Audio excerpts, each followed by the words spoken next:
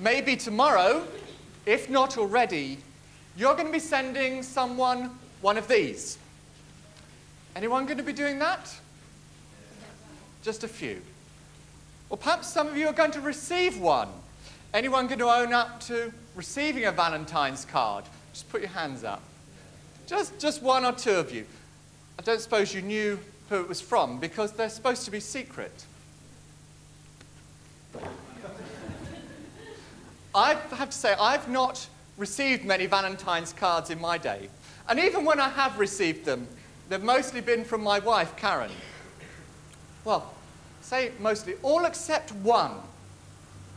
The very first Valentine's card that I received, in fact, was Valentine's Day 1977, a Monday. See, the day stuck in my memory. Card came through my letterbox with a simple message, guess who? I asked all my friends who had sent it. No joy. Ruled out the family because of the writing. And so it was a mystery who it was who had sent it to me. It is a mystery because I still don't know who sent me that Valentine card. Somewhere out there, perhaps someone is wondering whether I ever got that card. Well, I did get it. And I was very grateful to receive it. It did my teenage ego the world of good. It made me feel really wonderful to know that somebody loved me. I was on top of the world, and I would have mentioned it to them if I'd known who'd sent it to me. That's sad that someone should send me a Valentine's card and then have no idea of just how glad I was to receive it.